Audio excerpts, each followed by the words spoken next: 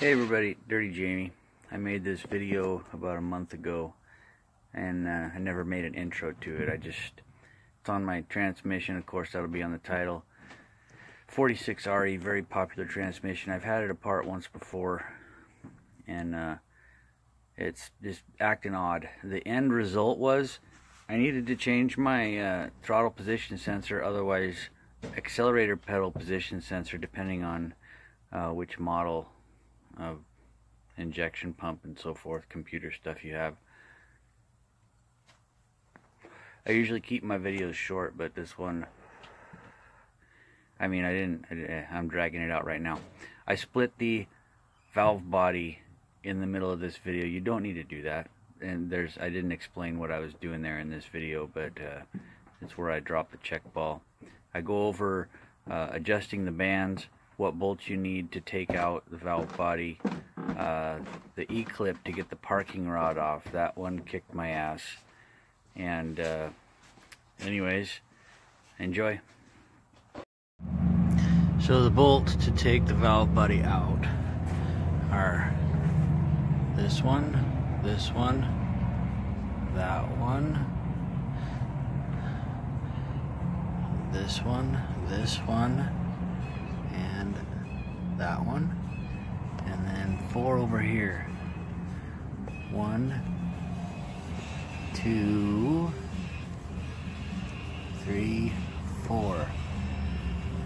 So six, ten bolts, 11 millimeter. On the other side of the pickup now, just because I didn't have tools in the way.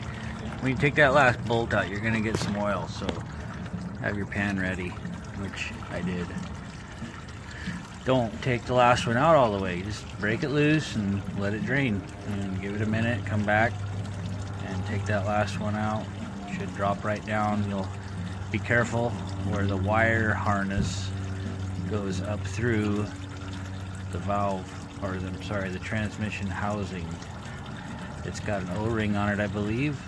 So just be gentle with that the spring up in here is going to push this side down more.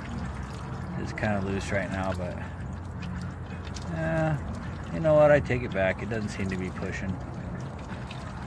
Let it drain. Finish taking it out.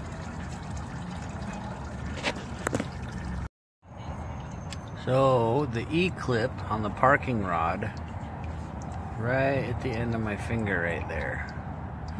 I've kind of pulled the valve body down, rotated it so I could see that sucker.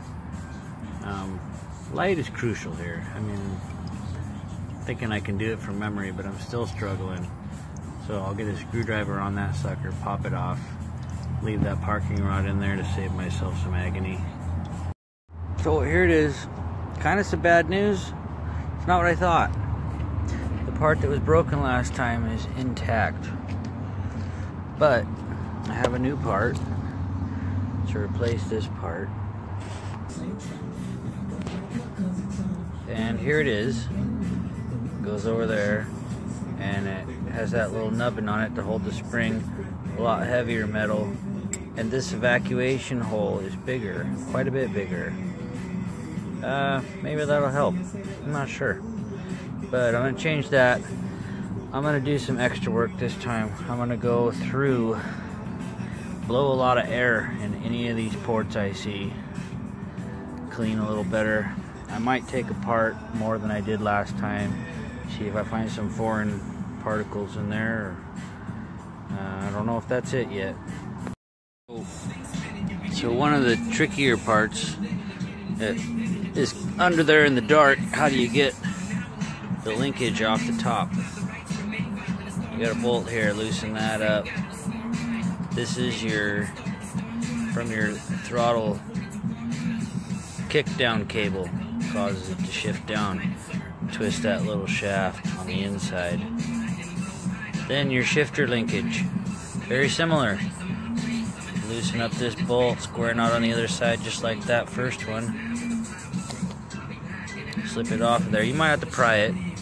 You know, sometimes they get stuck on there a little bit. That's that. This has a wire connector on the top. You just squeeze it.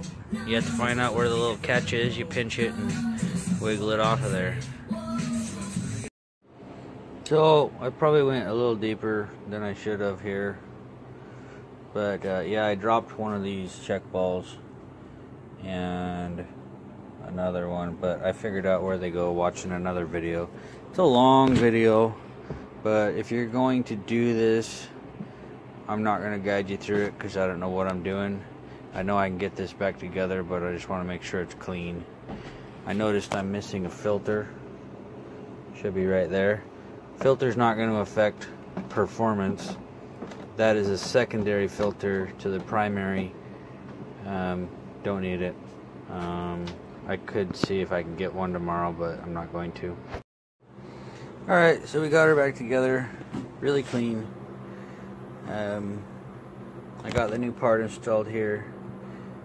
And the accumulator spring I wanted to replace it, but I don't want to wait for it, so we reinstalled it. It's under here. Everything was fitting really well. I didn't see anything marred up. Everything slid really well. I kind of pushed all the valves I could access in and out. You know, you can get not this one particularly. Some of them you can get a tool on. Once I had this off, I slid it in and out, make sure it slid smooth, it does. Um, and all the other ones I could get to. Here's one right here, see? Nothing sticking, very smooth operation. And we're going to reinstall it.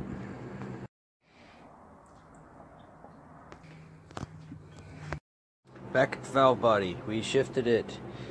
This is as far back as it'll go to get the parking rod in there It's to be much easier to get that E-clip underneath with it back here.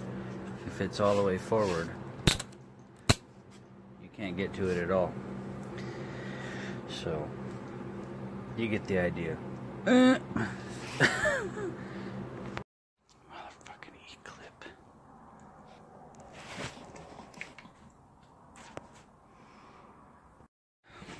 Alright, so recap here we were having shift problems. I didn't really make an intro video. We'll see if I make one later and put it in the beginning. Took the oil out, took the pan off, took the filter off, took the valve body out. The part that I thought was broken wasn't. took the valve body apart on a whim, thinking maybe I'd find a broken spring or some debris or something. No, looked fine check the uh, accumulator piston and spring. I remember the last time I looked at that accumulator spring, um, I had a kit that came with a smaller spring, and I already had that transmission rebuilt, so it already had a heavier spring in it. I left it. I looked at it again. It comes up just flush with the top of the cover plate, which looks good. Left it, put it back together, put the valve body in. Uh, let's talk about that for a second.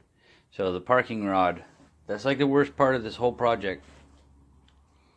Um, there's an E-clip on the parking rod. I've never been able to get the parking rod out. The two times, only two times, I say never, but the two times I've taken the valve body out, I just take the E-clip off and leave the parking rod in there. It's not that bad. You'll drop the E-clip. You gotta find it. Putting it back together that just took me a little over two hours, I think, just because of the E-clip. I dropped it twice. Both times took me for fucking ever to find it. Just one time it was actually on the valve body, the other time it was in the gravel. I was just about ready to cry. um, we're done with that. Uh, oh, put get a piece of copper wire, like speaker wire, and strip it, take one strand, about, I don't know, three inches, two inches, put it on that E clip. So as you're trying to put it up in there, if you drop the fucking thing, that wire will help you find it. It also will keep you from dropping it. And then when you're done, you just pull it off. Don't give, don't twist the shit out of it. If you just give it a one or two twists, you can pull that wire right off of there. I saw that on another video, and that was what I did after I dropped it twice. Should have done it the first time. Yeah, copper wire, a little one strand piece. Uh, now we're going to put the filter in, put the pan in, fill it full of oil. Pretty much the end of the video. Oh, I have to finish adjusting that uh, front band. Was it the front? Yeah, I think it's the front. The one that's on the outside of the transmission housing. I'll get that adjusted. I mean, it's late now. It's dark. I got a lantern out there. Um, I like using my little Coleman lantern. It's good radiant light. And uh, good luck, everybody. Uh, watch that fucking e clip. I don't know what else to tell you. Like and share. Thanks.